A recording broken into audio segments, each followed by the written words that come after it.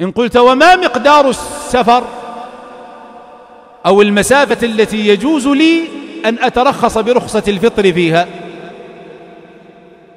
الجواب المتقرر عند العلماء رحمهم الله تعالى أن كل حكم ثبت في الشرع ولم يرد فيه تحديده فإننا نحده باللغة.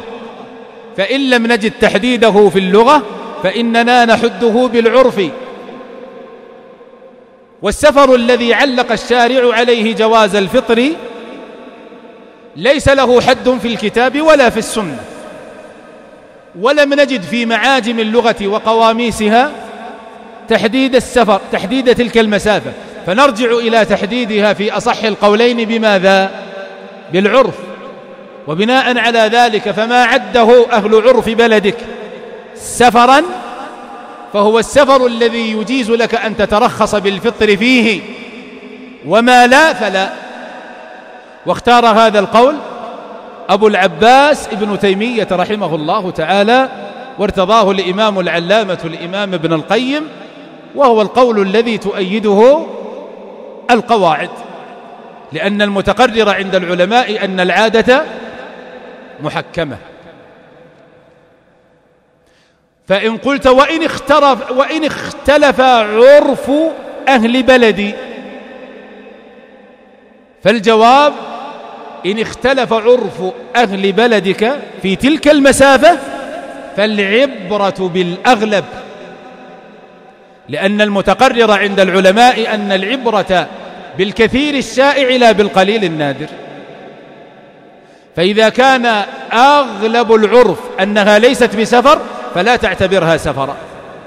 وإذا كان أغلب العرف يعتبرها سفرا فاعتبرها سفرا.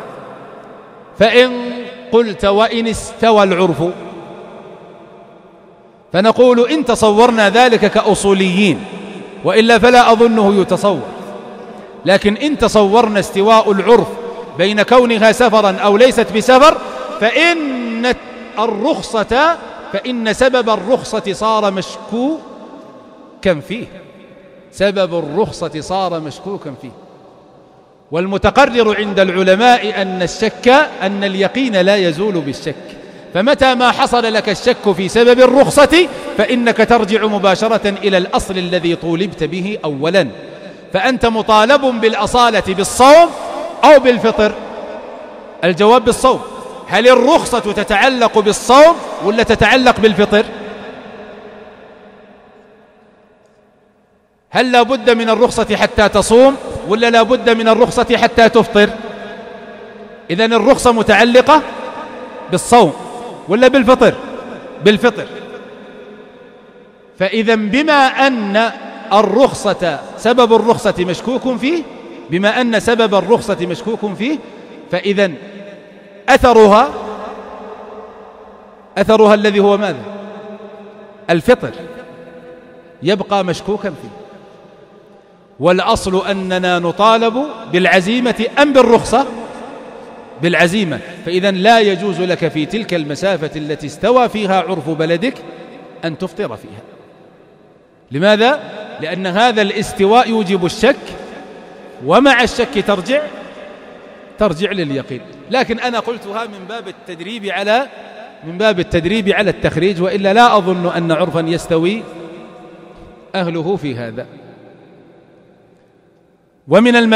إذا خلاصة هذه المسألة أن المسافة التي تجيز لي أن أترخص بالفطر في رمضان هي المسافة التي قضى عرف بلدي كلا أو أغلبا بأنها سفر.